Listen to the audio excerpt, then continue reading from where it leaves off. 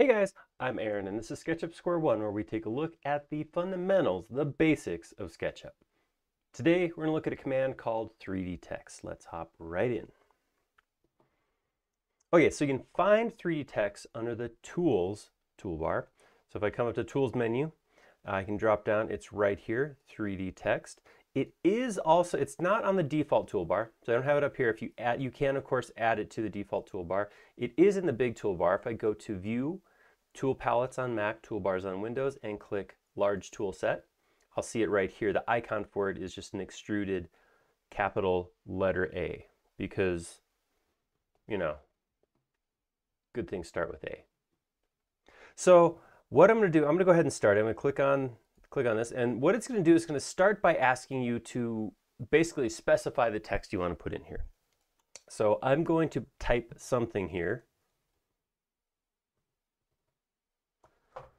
There we go.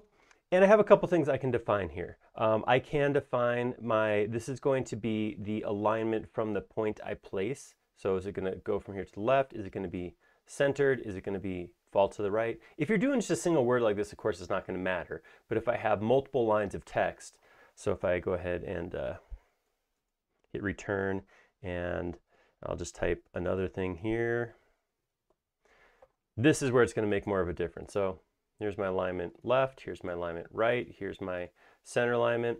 Um, like I said, it doesn't make too much of a difference if you put one line text in. If you put in multiple lines, that's going to affect that. I have some options here if I want to put in filled text or extruded text. Um, so I'm going to go ahead and put both in. I'm just going to place this first, and then we'll come back in again and place it again, and we'll dive a little deeper into this. So we'll look at what the fonts are, that kind of thing. But right now, it's going to put this text in a Tahoma font 10 inches tall. It's going to be filled and it's going to be extruded one inch. Let's go ahead and hit place. So when I hit place, it connects to my mouse. And as I mouse over different surfaces, that text is going to automatically align. The intention of 3D text is to place it on surfaces. You can always throw it on the ground or I could place it on Sumele, but uh, the intention is that it automatically snaps to a face.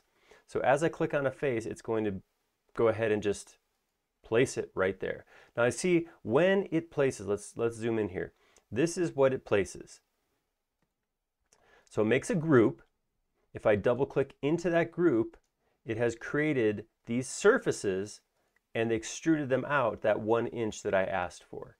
So all of this geometry at this point is just geometry. This is not text anymore. This is just geometry. I can't go in here and, and highlight the E and change it into a B um, because it's not text. This no longer exists as text. I'm, i know I'm, I'm, reiterating that, but the number one question I have, and I'm sure it'll show up in the comments, is can I edit the text once you place it? Once you place it, it's just geometry. There are extensions out there that will let you go back and edit. I think ThomThom has one, but for this portion, it is just placed in, is just geometry at this point. So I'm to go in there again. I'm going to go ahead and hit 3D text. We're going to dive in a little, little bit deeper here. So we're to type some more in here. And I'm to look at some of these options here. So you see that it tells me to Tahoma 10 inch, but I can't actually change it here. I have to click on the fonts button. The fonts button is going to bring up the system font. So this may look a little bit different if you're on Windows and what you're seeing on Mac, but the idea here is pretty simple. So I can pick the font I want to use. So maybe I'll use a different font here and I'll go with bold. Uh, these, of course, the typeface is going to change based on the, the font family, that sort of thing. Um, and I can also change the size. So I can say, well, I want this to be, um, let's just make it huge. Just make it like 24 inches. And I'm going to hit enter. You do have to hit enter here for that to, to update over here. The other option I have is I can turn on or off filled, or extruded. I'm going to go ahead and do that just so you can see what that does. And I'm going to go ahead and place that.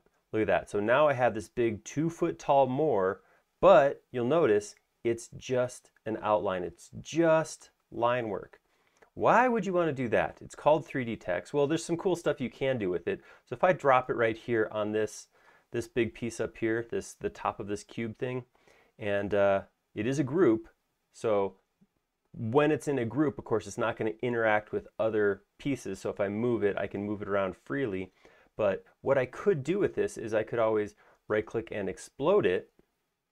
And when it does that, it'll actually break through this uh, material below and let me, you know, make changes in that geometry. So just another thing that you may want to use that for. I'm going to go ahead, go one more time. I'm going to go back into 3D text and uh, we'll do one that is, um, so I ran out of witty things to type, so I'm just going to type text. Um, I'm going to just fill and not extrude so we can see all the different options. And when I place that, here's what that looks like. So that gives me just literal like flat text with no extrusion. And that's just, like I said, that is just, all that is super simple. Now that's just a bunch of lines. I can do whatever I want. If I wanted to, I could actually come in here and I could manually extrude this. So if you ever like, I want 3D text, but I don't want them to all be the same size or something like that, you could always manually push pull that if you needed to. But that's that. So 3D text is actually fairly easy to get the hang of and use. Um, like I said, the biggest thing that people stumble on is they want it to be like a text box that they put in. They type in some text, they put it in, they double click on it later, change it again. Once you place it, it is just geometry. It's boom, it's in there. The nice thing is that once it's geometry, it's just geometry. So you can change however you want. Anything you want to go in there, manipulate, push, pull it, change it. Uh, you can always, you, you can grab text from one set of 3D text and drop it into another. Uh, it's just a bunch of geometry at that point. If you like that video, click like down below, and if you haven't already, please subscribe. We create several videos a week, including one of these square ones every week, and you'll be notified of each and every one of them if you subscribe. Most importantly though, please leave a comment down below.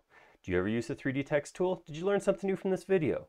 We like making these videos a lot, but we like them even more when they're showing something you want to see. Thank you.